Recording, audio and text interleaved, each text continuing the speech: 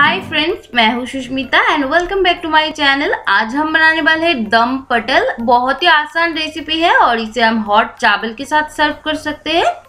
इसे बनाने के लिए हम एक पैन में मस्टर्ड ऑयल डाल देंगे और तेल को गर्म होने के लिए छोड़ेंगे।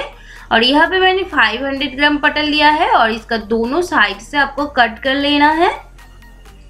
अब हम सारे पटल को तेल के अंदर डाल देंगे। अब हम पटल के अंदर हल्दी डाल देंगे हाफ़ टी स्पून और नमक अप, अपने स्वाद के अकॉर्डिंग डाल दें। और इसे हम मिक्स कर लेंगे।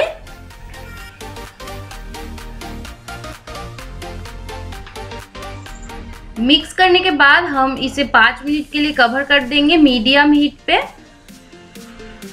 पाँच मिनट बाद हम इसका कवर हटा लेंगे और इसे पलट देंगे दूसरे साइड से ताकि ये फ्राई हो जाए। अब हम फिर से इसे कवर करेंगे। फिर से पाँच मिनट बाद हम इसका कवर हटा लेंगे।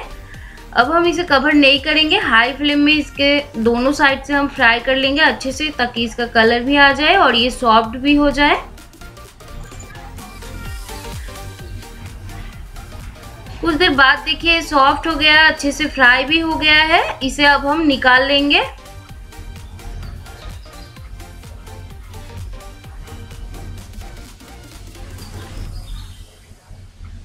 अब हम फिर से इसे पैन के अंदर तेल गरम कर लेंगे और तेल के अंदर डाल देंगे दो तेज पत्ता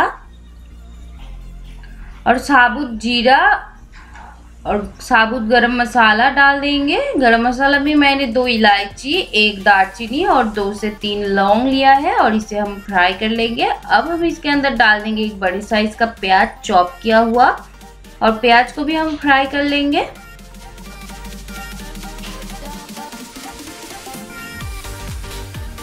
अब हम प्याज के अंदर ऐड कर देंगे वन टीस्पून अदरक लहसुन का पेस्ट इसे भी हम प्याज के साथ अच्छे से फ्राई कर लेंगे.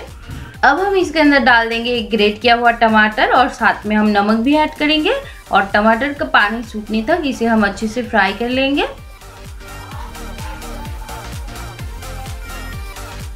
टमाटर जब फ्राई हो जाए, तब हम इसके अंदर सारे सूखे मसाले ऐड करेंगे। वन टीस्पून जीरा powder, one teaspoon Kashmiri red chilli powder, half teaspoon हल्दी पाउडर और वन टीस्पून धनिया पाउडर और साथ में हम तीखे वाले मिर्च का भी पाउडर डालेंगे।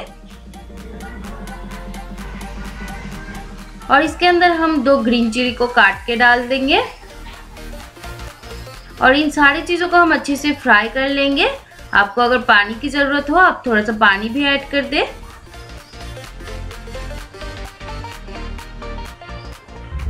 अब हम इसे अच्छे से फ्राई करेंगे।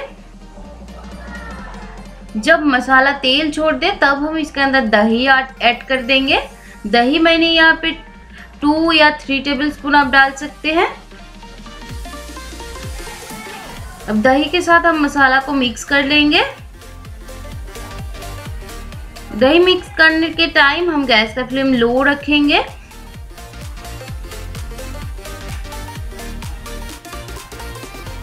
अब हम दही को भी फ्राई कर लेंगे और इसके अंदर डाल देंगे फ्राई किया हुआ पटल और इसे मिक्स कर लेंगे।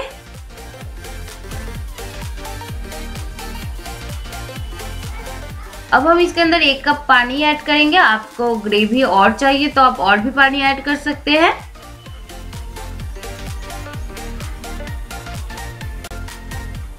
अब हम इसका नमक भी चेक कर लेंगे और इसे कवर कर लेंगे पाँच मिनट के लिए, ताकि ग्रेवी थोड़ा सा ठीक हो जाए और इसका ग्रेवी ठीक ही रहता है थोड़ा सा ज़्यादा पतला आप नहीं कीजिएगा।